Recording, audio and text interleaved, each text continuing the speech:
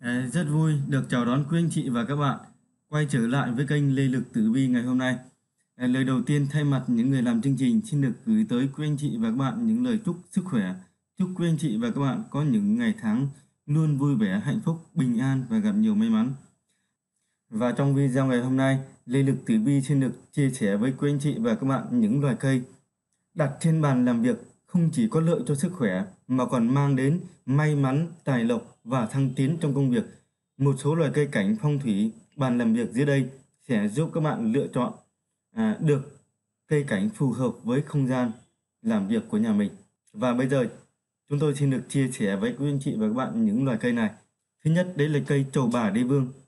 Đây là loại cây trầu bà đế vương đỏ. Cây trầu bà đế vương đỏ có cái tốc độ sinh trưởng nhanh, cây chịu bóng bán phần hoặc hoàn toàn thích hợp trồng làm cây trang trí nội thất. Chiều cao cả cây và chậu từ 30 đến 50 cm, phù hợp trang trí quầy kệ, bàn làm việc, phòng khách, nhà bàn trà hay là kệ cửa sổ, vân vân. Cái là cây thứ hai, đây là cây bao thanh thiên. Để chúng ta xem trên cái hình ảnh, đây là cây bao thanh thiên. Thì đúng với cái tên của cây bao thanh thiên thì cho ta thấy là một loài cây vừa có cái phần là gần gũi vừa xa lạ. Cây bao thanh thiên vừa mang cái sự trang trọng vừa mang cái phần gần gũi dễ chịu à, thân cây màu trắng hồng kết hợp cùng với cái hệ thống lá bo góc nhọn tạo nên một cái chỉnh thế vươn cao. À, nếu cây cảnh phong thủy bàn làm việc này được đặt bên góc trái hay là giữa của cái bàn làm việc thì không những công việc của bạn thuận lợi mà vấn đề thăng tiến của bạn cũng vô cùng rộng mở. Và cây thứ ba chúng tôi muốn giới thiệu với các bạn ở đây đấy là cây bạch mã hoàng tử. Để chúng ta xem ở trên màn hình. Đây là hình dáng của cây bạch mã hoàng tử. Thì cái cây bạch mã hoàng tử đây là cái loài cây mà chịu bóng tốt, cây mọc bụi vì cây con thường đâm chồi từ thân mẹ ra. Thì lá xanh, thân và cuốn lá màu trắng, tán lá lớn, gân và bẹ lá cây bạch mã hoàng tử là màu trắng tạo nên cái điểm thu hút dễ nhớ. Cây trồng trong chậu rất đẹp, dùng trang trí trong nhà, văn phòng rất là phù hợp. Với kích thước bụi cây nhỏ từ 15 đến 25 cm thường được chọn trồng vào những cái chậu nhỏ để trang trí trên bàn hoặc là cửa sổ. Và cây thứ tư, đấy là cây ngô đồng. Có thể nói thì Ờ, đây là cái loại cây cảnh vô cùng hữu dụng tại công sở hay là trang trí nhà. Nó không chỉ là thú chơi tao nhã của những cái tay chơi cây hoa, cây cảnh có tiếng mà rất nhiều người không biết trong những loài cây cảnh phong thủy bàn làm việc thì cây ngô đồng à, nếu được đặt trên bàn sẽ hút tài lộc về nhà cũng như là cho cái cuộc sống của bạn may mắn sum vầy. Cây ngô đồng à, được bo quanh bởi các cái tán lá to rộng.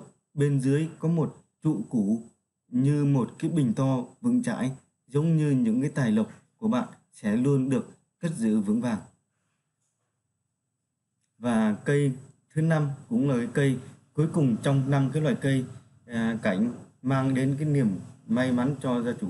Đấy là cây cung điện vàng.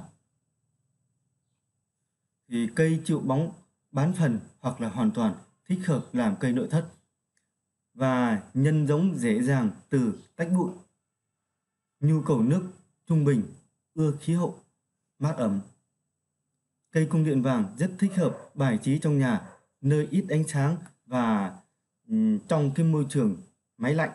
Bạn không cần phải tốn nhiều thời gian để chăm sóc và à, sẽ luôn có cảm giác thư thái khi nhìn cây phát triển mỗi ngày. Ừ, quý anh chị thân mến thì trên đây thì quý anh chị đã cùng Lê Lực Tử Vi tìm hiểu về năm loài cây phong thủy đặt trên bàn làm việc không chỉ có lợi cho sức khỏe mà còn mang đến cái may mắn, tài lộc và cái thăng tiến trong công việc. Và một số loại cây đó chúng tôi đã vừa giới thiệu với các bạn rồi. Và xin được cảm ơn quý anh chị đã theo dõi video của chúng tôi.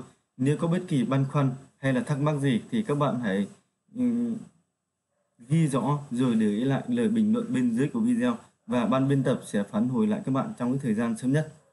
Và nếu các bạn là những người lần đầu tiên đến với kênh Lê Lực Tử Vi hoặc là những ai còn chưa đăng ký kênh thì hãy hoan hỷ đăng ký kênh để ủng hộ ban biên tập của chương trình. Và sau đó hãy nhấn vào tín hiệu chuông ở phía bên dưới để không bỏ lỡ những cái thông tin mới nhất khi có video mới nhất và hay nhất từ ban biên tập. Và chúc quý anh chị và các bạn có những ngày tháng luôn vui vẻ an bình an và gặp nhiều may mắn. Xin chào tạm biệt và hẹn gặp lại các bạn trong những nội dung tiếp theo của chúng tôi.